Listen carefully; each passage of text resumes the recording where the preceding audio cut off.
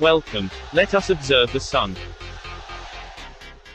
Solar flares have been at a lull, thus far this week, so I thought I would show you a few anomalies for your consideration. Seen through the LASCO C2 filter, we see the first anomaly. I'll pause it for a better view. It is an anomaly, because solar eruptions will agitate solar particles, which are picked up by the SOHO satellite. There were no eruptions at this time. Now a look at the SDO 171 filter, where we can observe the solar activity on the surface of the Sun. November 27 through December 1st. Where another anomaly is observed on the Sun's coronal hole. Just here, a triangle shape forms. Pareidolia, I am sure, but still an odd anomaly. I'll move in closer in increments. The triangle shape is seen for a few seconds before it changes shape.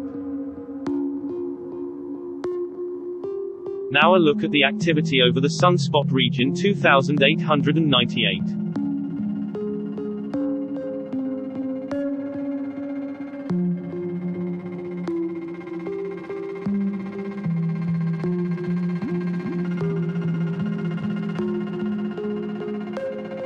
At the 8 o'clock position on the Sun, we see some solar vortexes form.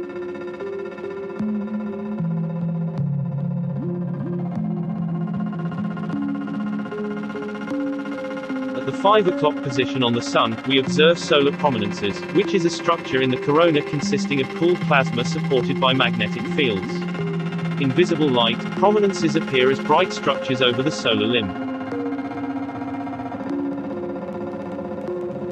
Shown on this coronal hole map, is an Earth-facing coronal hole. Coronal holes are the source of fast solar wind streams which sometimes have the potential to produce minor to moderate geomagnetic storms. Using the SDO 211 filter, the coronal holes can easily be seen, as it rotates in Earth's direction.